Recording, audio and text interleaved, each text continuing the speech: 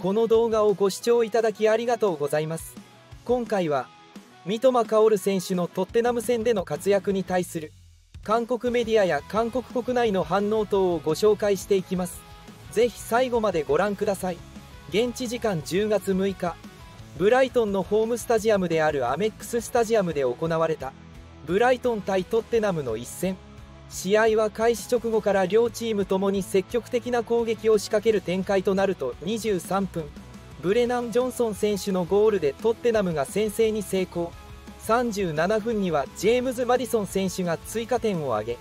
前半を2-0でリードして折り返します。しかし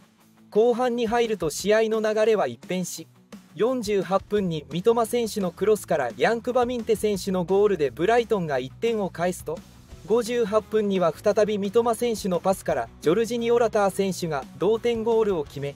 66分にはダニー・ウェルベック選手が逆転ゴールを挙げ結果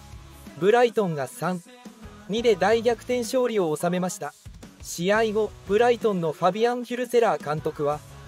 前半はポゼッション面でよくたくさんのチャンスを作ったがボールに対してのインテンシティがなくデュエルでも負けていた。ハーフタイムにさらに高いインテンシティとともにゲームプランを全うするべきだと伝えた。前半トッテナムはインテンシティとともにプレーし我々は準備ができていなかった。自信があれば流れに乗れる。選手たちは流れをつかみチャンスを作り得点を上げるために一生懸命だった。彼らはサポーターを味方につけ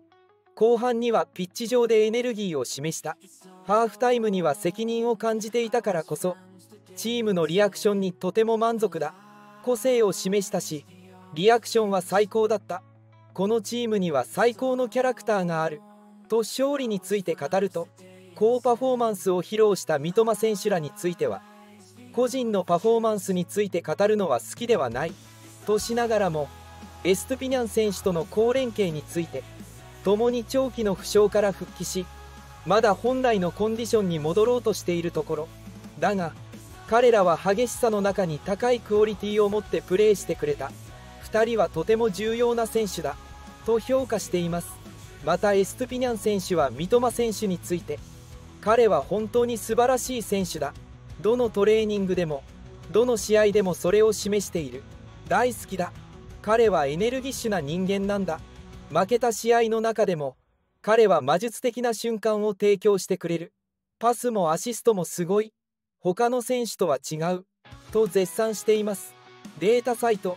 ソーファスコアによると三笘選手はこの試合両チーム最多となる3本のキーパスを記録。ビッグチャンスクリエイト数も2回と息を吹き返した後半のブライトンの攻撃を牽引した同選手には現地メディアの間でも高い評価を下しており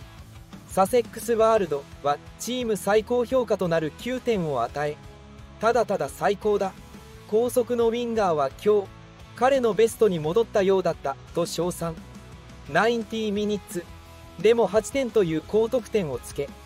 ランニングでペドロポロに困難な場面を作り出すなど左サイドで危険な存在でいくつかの危険なクロスを上げていたと三笘選手の攻撃的な貢献をたたえさらにスカイスポーツではこの試合のプレイヤー・オブ・ザ・マッチに選出しています。またこの試合についてはソン・フンミン選手が所属していることもあり韓国メディアでも報道されており韓国の大手スポーツ紙スポーツ挑戦は三笘薫の活躍で逆転負けトッテナムブライトンに2-3敗北という見出しで試合を報じソン・フンミン選手の怪我について触れつつ三笘選手の活躍をこう続けています。三笘は左サイドで自由自在に動き回りトッテナムディフェンスを翻弄した。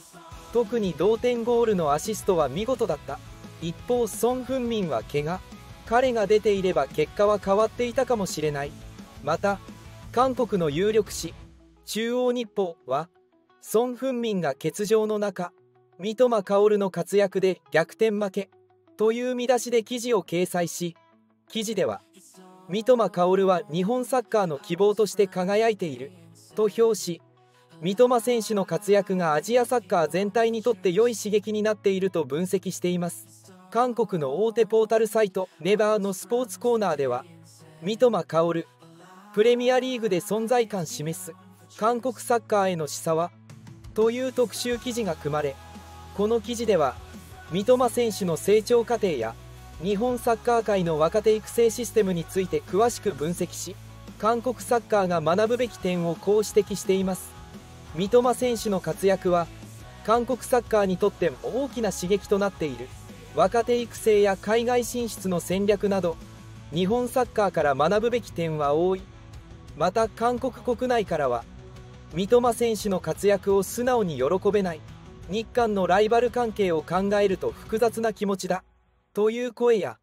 三笘選手の活躍は素晴らしい。アジア選手として誇らしい。日本サッカーの若手育成システムから学ぶべきだ。といった前向きなコメント。またソン・フンミン選手の調子が心配だ。韓国サッカーも若手の台頭が必要だ。という意見も多数寄せられています。今週にはワールドカップアジア最終予選の3戦目。4戦目が控えているアジアの各代表。日刊紙毎日経済ではアジアに緊張感はないという日本の自信。韓国は呆れ顔。と銘打った記事を掲載しその中で日韓両代表の現状を踏まえてアジアの強者をめぐって争ってきた。永遠のライバルである韓国代表と日本代表を取り巻く雰囲気は劇的に異なっている。と論じ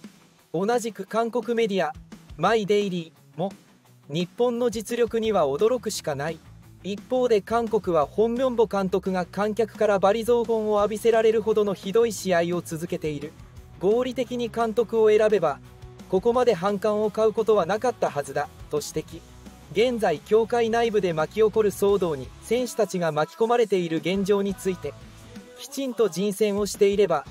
選手たちが監督を言い訳して包み込むようなかわいそうな姿もなかった。一体世界一流の選手たちが何の罪を犯したというのか。